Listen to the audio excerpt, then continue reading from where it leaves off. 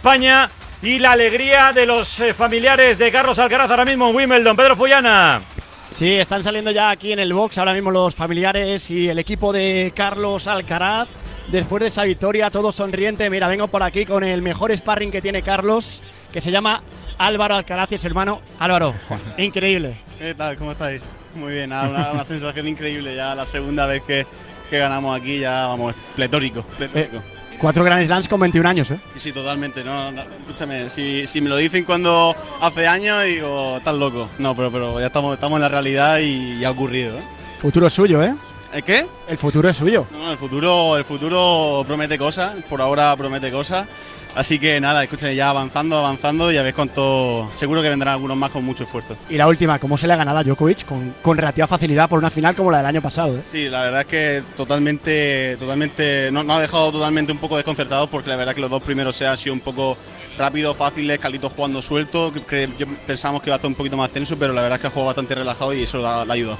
Gracias Álvaro, eh, eh, el hermano, el mejor amigo, el sparring, el compañero de viaje, el compañero de piso, de habitación, de todo. Y por aquí rápidamente, miras, sondeo rápidamente cómo está el equipo. Y sin rápidamente, los, Juan- tú tranquilo. lo- los, los Juanjos, Juanjo Moreno, el fisio, muy buenas. ¿Qué tal? ¿Cómo estamos? Juanjo López, el médico. eh, Alberto Lloró, el preparador físico. Bueno, eh, increíble, eh, increíble. No sé, definidlo vosotros. Esto es, pues, una puta locura, un sueño, ¿no? o sea, algo increíble, la verdad que sí, muy contentos.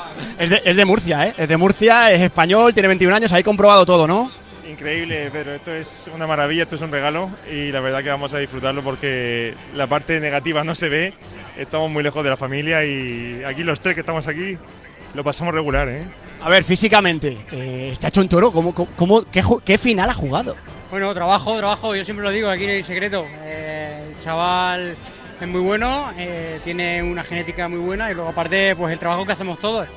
Así que ahí estamos. Gracias, gracias a los tres. Mérito para todo el equipo. Y mira, por aquí Juan Carlos Ferrero, es tradicional. Ju- Juan Carlos, Juan Carlos, enhorabuena. ¿Qué tal?